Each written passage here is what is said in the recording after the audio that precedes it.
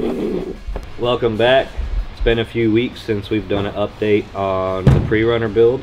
Um, we've got a lot of things that have finally started coming together. We're pretty much almost finished with final assembly and the mock-up phases and then we're going to start disassembly and start taking things to get powder coated the bed will be rhino lined so on and so forth as you can see we have the Kibbetech battery tray with dual Optimas we are relocating the batteries to the rear uh, we needed more clearance up front Zach can show you we had to move the fuse panel and the stock battery in order to get full bump on 37s on the passenger side. He finished up these rear fenders that um, you saw a few weeks ago. I ended up making a mistake and not allowing for the sway bar end links, as you can see on this downside. The sway bar end links are on the inboard side of the fender well tub. So Zach ended up adding about an inch and 5 eighths, and you can see the seam here to the original tub, and then replenished and shaped. They're all finally welded in we were able to find a factory seam in the floor. It has a broke flange where it was seam sealed in the stock location. So Zach went ahead and broke the bottom side of the fender so we get more rigidity and way more structurally sound than what the stock ones were. And then he also put in this basic splash guard allowing plenty of clearance for the 3.516s and the 2.514s. There's plenty of room, no chance of them getting hot but it will keep all of the road spray and trash from getting all gummed up inside the fins. And as you can see, everything is happy at full bump and we can stuff 37s all the way locked to As you can see here, we got the Kibbetech battery tray with a dual red tops. So we're gonna mount it roughly somewhere right here. We had Sean come in a couple days ago and you know, we ran some rough wiring just to figure out where we can run everything, but gonna figure out the best spot for the batteries will be here in the bed. Run them down to the center there, it'll be the cleanest looking. And then we got uh, we got the bed cage in from Kibby. As you can see, we got the shocks just rough ran and mounted, but we'll run the, so we'll mount the trans coolers here. They'll, they'll be thermostat controlled with dual electric fans. And you can see here we had to cut holes in the bed for the bed cage, so we'll have to clean all that up and make an access panel so it can still be removable. We got these bars in here, they're just for mock-up, just to hold the bed flat. There's no, once we cut it, cut the tubs out and cut the uh, center out for the C-notch, the bed was really wobbly and no rigidity to it, so we just added these to keep it straight and strong so we can stand in here and work. Yes, so you can see here we got the Kibbetech battery tray with dual red top Optimas. We removed the front one, front battery. I'll show you that in a little bit, but we're gonna mount the batteries back here and then uh, we'll run all the electrical to that. That's what we're gonna make this a dual purpose. That's why we cut it all the way out here. The dual purpose it we're gonna hide some electrical, the computers and some wires in here, and then obviously we had to cut it out for the pumpkin for the full for full travel here. So that's why we haven't filled that in yet. We'll hide the computers and some electrical wires under here also, and we'll make access panels for those so we can get to them easily. We can run lights here, which we haven't decided yet what which lights we're gonna run. So if there's anything y'all recommend, let us know.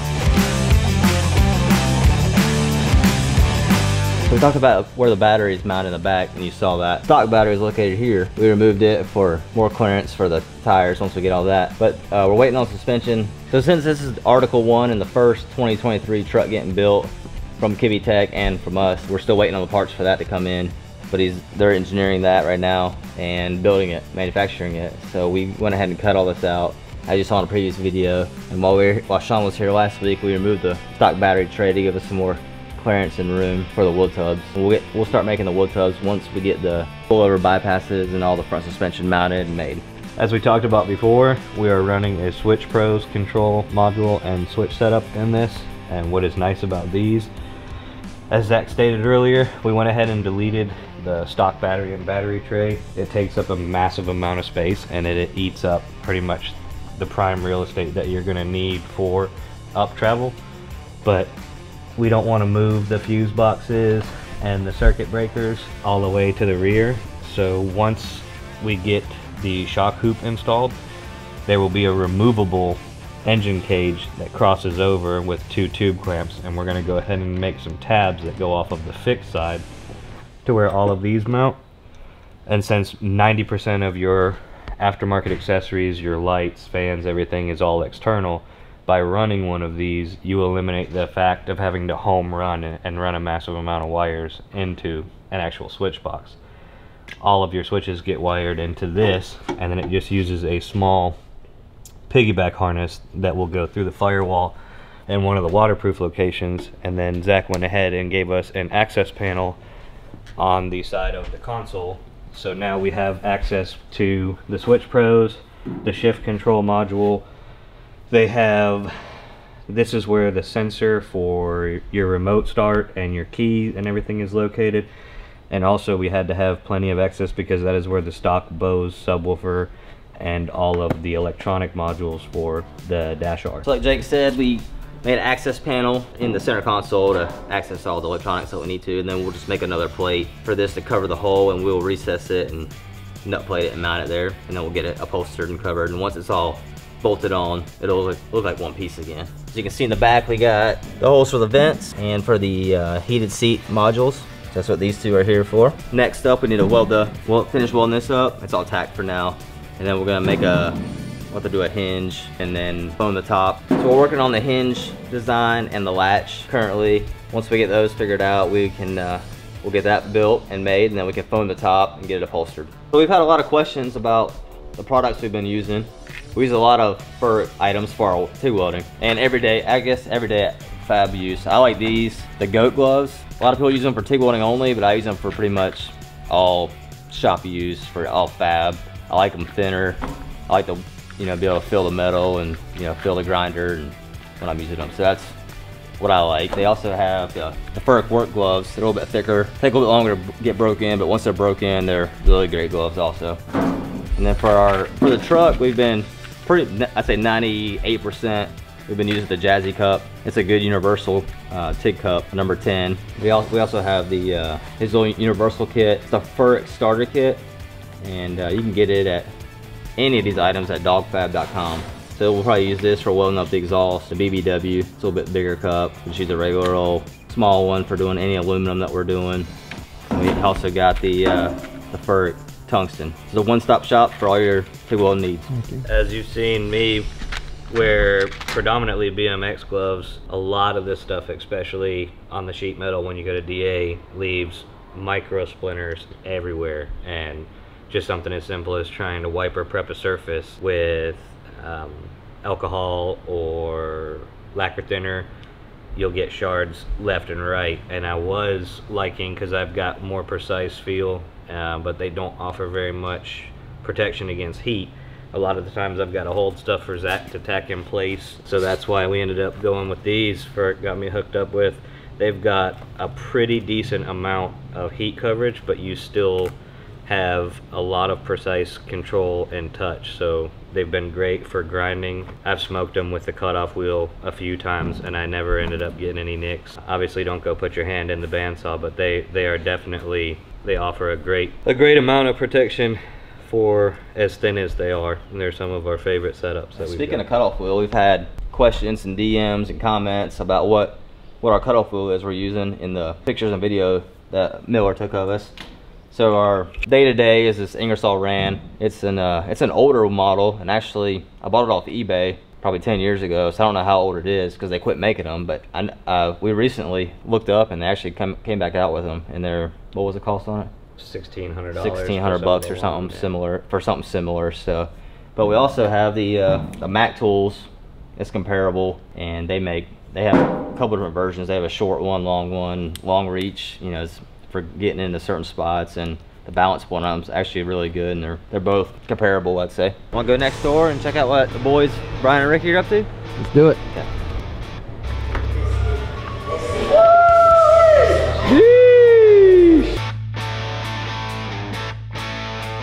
This right here is a Ferrari SF90, okay? It is, yeah, Stradale. Um, this thing right here is electric, hybrid, and full Ferrari gas motor. Like, it tripped me out because he pulled it in yesterday, and when he did, it was like, whoa, and then he put it in reverse, and it just straight Tesla. so this here, right here, this is the Magneti Marelli Race E flux capacitor. This thing hit 88 miles an hour, baby. We are just detailing it. We just cleaned it, just getting it spiffy back to where he can put it back into his uh, garage of awesome car collection. He did a track day with it? Yes, he did. He did a track day with it. Because he's actually a really cool dude, and he fucking drives his shit. He is not afraid to take them out on the track and see what they do, man. And um, this thing was actually, by his standards, was filthy. But I mean, it's for even being at the track, it wasn't even that bad. So you guys have seen that we've had these fab tape, fab fixture tables for a few months now, and we've been using them every day. So far, man, they've been awesome. You know, there's plenty of tooling for these guys. There's plenty of, they're super solid. We grind, weld, we do everything on these tables, and uh, we haven't had one issue with them yet.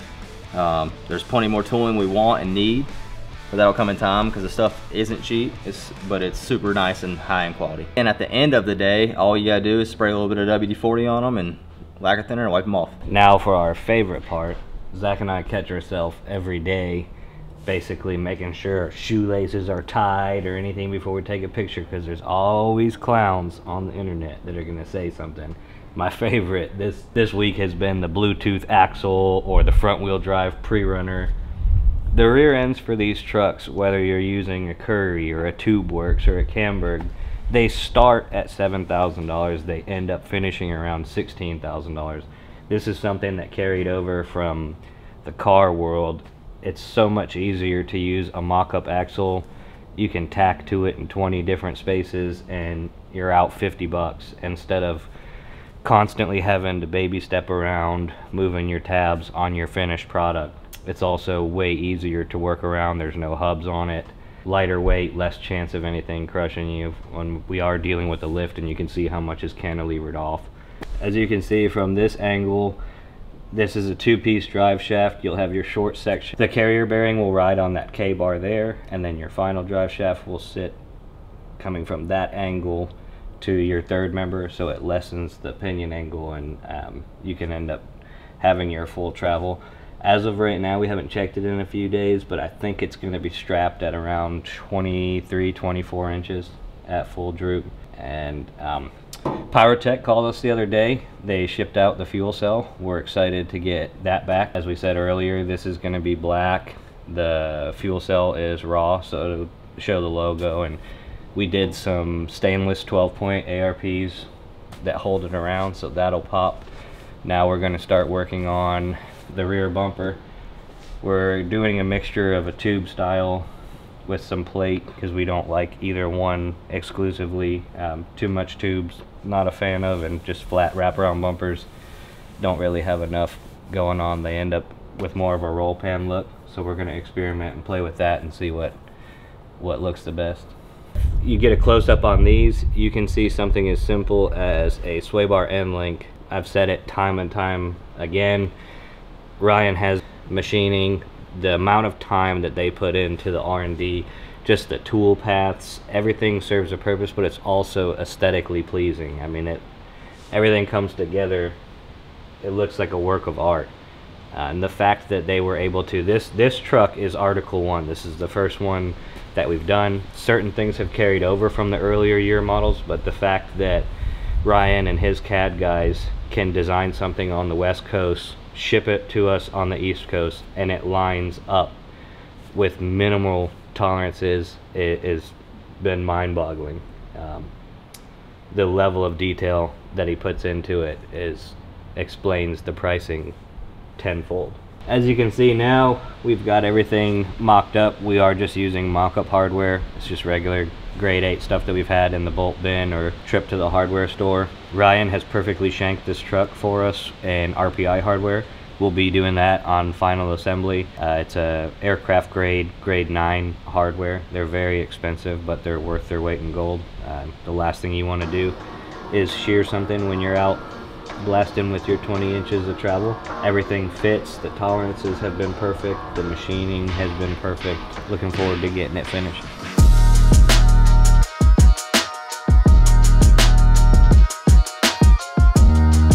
Wait, what? A freaking frog in here. Oh. Rest in peace, little guy. Ah! Rest in peace, little guy.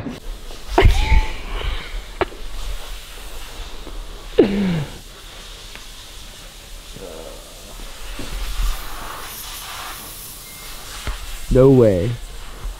How did it start working again? He just on. He's out there with a fucking bike pump or something.